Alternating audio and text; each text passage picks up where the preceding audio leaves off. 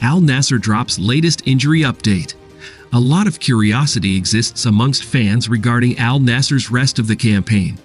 There are quite a few achievements at stake in the season, including the league trophy and the AFC Champions League. But Cristiano Ronaldo has been hit by regular injuries this season. Even though the severity of the recent one seems to be minor, will the Riyadh-based club take a risk on him? Is Ronaldo back on the pitch? Let's find out.